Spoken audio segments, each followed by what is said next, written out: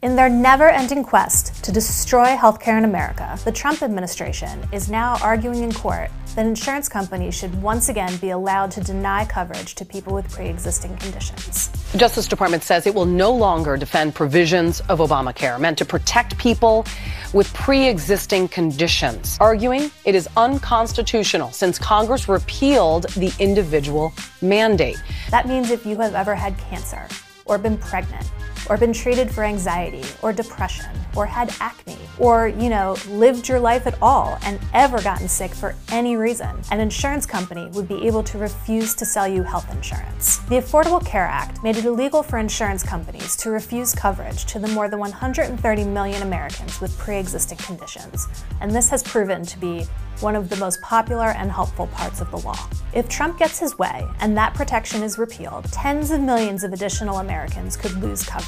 And today in the United States, 30 million Americans are already uninsured, and 41 million are underinsured, which means they have insurance, but it's in name only. They can't actually afford to use it. So this would make a bad situation even worse.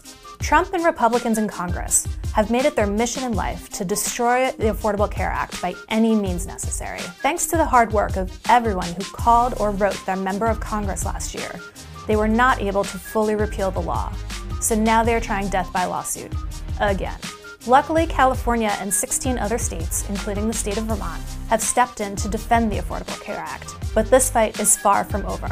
Our job is to defend the protections for pre existing conditions and make healthcare a right to everyone.